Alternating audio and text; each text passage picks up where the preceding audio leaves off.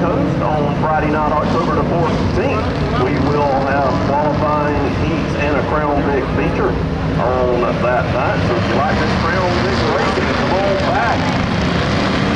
Showdown.